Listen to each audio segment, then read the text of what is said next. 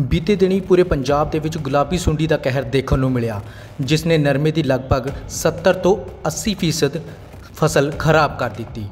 ਕਿਸਾਨਾਂ ਵੱਲੋਂ ਸੂਬਾ ਸਰਕਾਰ ਨੂੰ ਗੁਹਾਰ ਲਗਾਈ ਗਈ ਕਿ ਉਹਨਾਂ ਨੂੰ ਫਸਲਾਂ ਦਾ ਜਲਦ ਤੋਂ ਜਲਦ ਮੁਆਵਜ਼ਾ ਦਿੱਤਾ ਜਾਵੇ। ਮੁੱਖ ਮੰਤਰੀ ਤੋਂ ਲੈ ਕੇ ਕੈਬਨਿਟ ਮੰਤਰੀਆਂ ਨੇ ਫਸਲਾਂ ਦਾ ਜਾਇਜ਼ਾ ਲਿਆ ਤੇ ਗਿਰਦਾਵਰੀ ਕਰਕੇ ਜਲਦ ਹੀ ਮੁਆਵਜ਼ਾ ਦੇਣ ਦੀ ਗੱਲ ਆਖੀ। ਪਰ ਕਿਸਾਨਾਂ ਨੂੰ ਅਜੇ ਤੱਕ ਮੁਆਵਜ਼ਾ ਨਹੀਂ ਮਿਲ ਪਾ ਰਿਹਾ। ਇਸੇ ਦੇ ਚਲਦਿਆਂ ਭਾਰਤੀ ਕਿਸਾਨ ਯੂਨੀਅਨ ਉਗਰਾਹਾਂ ਦੇ ਮਲੋਰ ਤੇ ਲੰਬੀ ਦੇ ਕਿਸਾਨਾਂ ਵੱਲੋਂ ਮੀਟਿੰਗ ਕਰਕੇ 5 ਅਕਤੂਬਰ ਤੋਂ ਪੰਜਾਬ ਦੇ ਖਜ਼ਾਨਾ ਮੰਤਰੀ ਮਨਪ੍ਰੀਤ ਸਿੰਘ ਬਾਦਲ ਦੀ ਕੋਠੀ ਦੇ ਬਾਹਰ ਅਣਮਿੱਥੇ ਸਮੇਂ ਦੇ ਲਈ ਧਰਨਾ ਲਗਾਉਣ ਦਾ ਐਲਾਨ ਕੀਤਾ ਗਿਆ।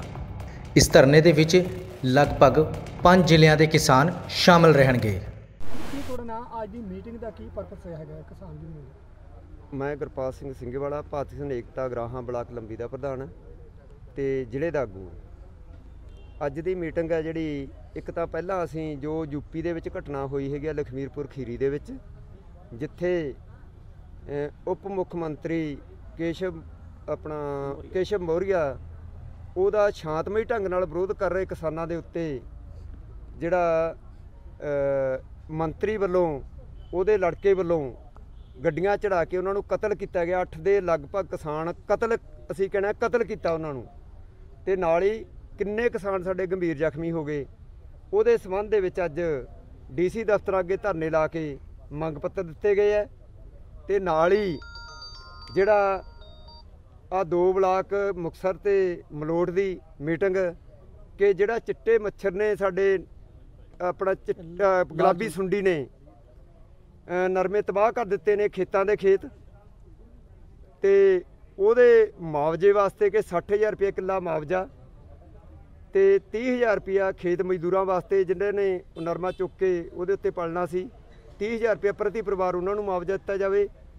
ਤੇ ਨਾਲ ਹੀ ਜਿਹੜੀ ਝੋਨੇ ਦੇ ਉੱਤੇ ਸ਼ਰਤਾਂ ਲਾਈਆਂ ਕਿ 25 ਕੁਇੰਟਲ ਤੋਂ ਖਰੀਦ ਕਰਨੀ ਆ, ਦੂਜੀਆਂ ਹੋਰ ਸ਼ਰਤਾਂ ਨੇ, ਸੈੱਲ ਵਾਲੀਆਂ ਸ਼ਰਤਾਂ ਨੇ।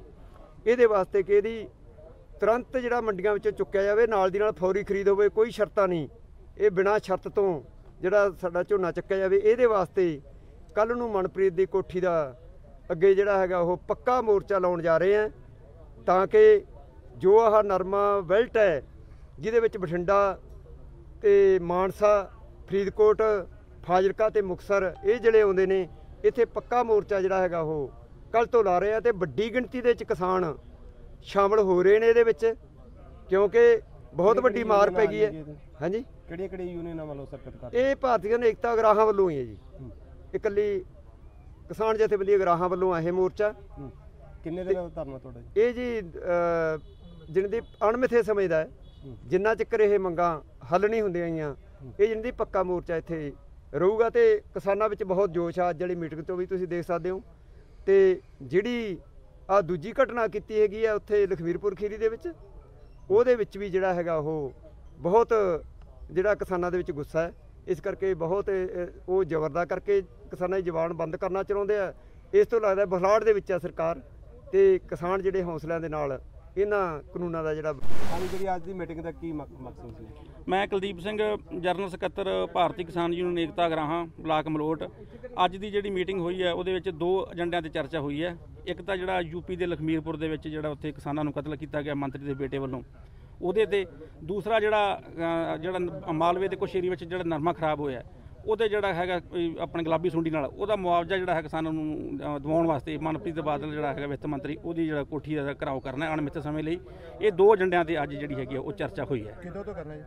ਇਹ ਸਰ ਕੱਲ ਤੋਂ ਹੈ ਕੱਲ ਕੱਲ 5 ਤਰੀਕ ਤੋਂ ਔਰ ਅਣਮਿੱਥੇ ਸਮੇਂ ਲਈ ਹੈ। ਜਿੰਨਾ ਚਿਰ ਇਹ ਮੰਗਾਂ ਨਹੀਂ ਮੰਨੀਆਂ ਜਾਂਦੀਆਂ ਉਹਨਾਂ ਚਿਰ ਜਿਹੜਾ ਇਹ ਧਰਨਾ ਹੈਗਾ ਇਹ ਜਾਰੀ ਹੋਊਗਾ। ਔਰ ਇਹ ਭਾਰਤੀ ਕਿਸਾਨ ਯੂਨੀਅਨ ਏਕਤਾ ਉਗਰਾਹਾਂ ਮਤਲਬ ਇਕੱਲੀ ਜਿਹੜੀ ਹੈਗੀ ਹੈ ਜਿਹੜੀ ਜਥੇਬੰਦੀ ਉਹ ਧਰਨਾ ਲਾਉਣ ਜਾ ਰਹੀ ਹੈ। ਕਿੱਥੋਂ ਕਿੱਥੋਂ ਕਿਸਾਨ ਪਹੁੰਚ ਰਹੇ ਇਹ ਸਰ ਚਾਰ ਜਿਹੜੇ ਜ਼ਿਲ੍ਹੇ ਪੰਜ ਪੰਜ ਜਿਹੜੇ ਜ਼ਿਲ੍ਹੇ ਹੈਗੇ ਮਾਲਵੇ ਦੇ ਫਾਜ਼ਿਲਕਾ ਫਰੀਦਕੋਟ ਮੁਕਸਰ ਬਠਿੰਡਾ ਔਰ ਮਾਨਸਾ। ਇਹਨਾਂ ਪੰਜਾਂ ਜ਼ਿਲ੍ਹਿਆਂ ਦੇ ਜਿਹੜੇ ਕਿਸਾਨ ਹੈ ਉਹ ਇੱਥੇ ਜਿਹੜੇ ਹੈਗੇ ਵੱਡੀ ਗਿਣਤੀ 'ਚ ਪਹੁੰਚ ਰਹੇ ਹੈ। ਕੋਈ ਸਰਕਾਰ ਵੱਲੋਂ ਕੁਝ ਵਾਸ਼ਨ ਵੀ ਆਇਆ ਗਿਆ ਇਸ ਤੋਂ ਪਹਿਲਾਂ ਤੁਹਾਨੂੰ? ਨਹੀਂ ਸਰ ਉਹਨਾਂ ਨੇ ਬਸ ਸੀਐਮ ਉੱਥੇ ਗਿਆ ਸੀ ਚੰਨੀ ਉਹਨਾਂ ਨੇ ਗਰਦੌਰੀ ਦੇ ਜਿਹੜੇ ਸੀ ਆਦੇਸ਼ ਦਿੱਤੇ ਆ ਅਜੇ ਤੱਕ ਗਰਦੌਰੀ ਨਹੀਂ ਸ਼ੁਰੂ ਹੋਈ।